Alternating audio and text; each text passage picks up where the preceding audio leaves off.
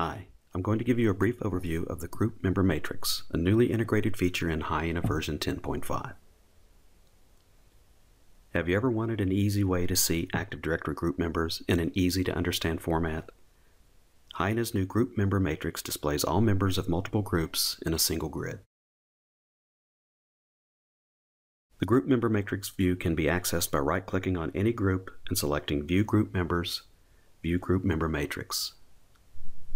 To view the members of more than one group, select multiple groups from Hyena's right window. A number of options can be configured for the matrix view. Click the Modify button to customize the columns for the group members.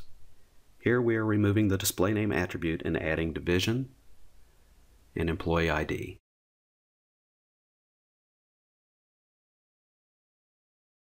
Members of a group can come from three sources in Active Directory, primary, direct, and indirect.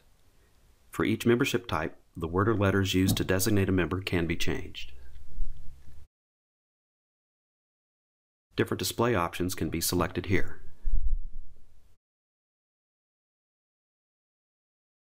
While Hyena has always had ways to show direct and indirect group members for multiple groups, the new matrix view gives you a better visual representation of the members and their relationships.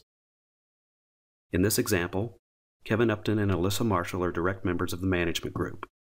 Since the management group is a member of the marketing group and sales group, Kevin and Alyssa are also shown as indirect members of the marketing group and sales group.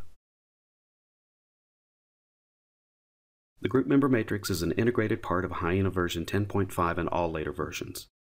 Purchase or upgrade to the latest version of Hyena with the group member matrix. Go to systemtools.com for more information.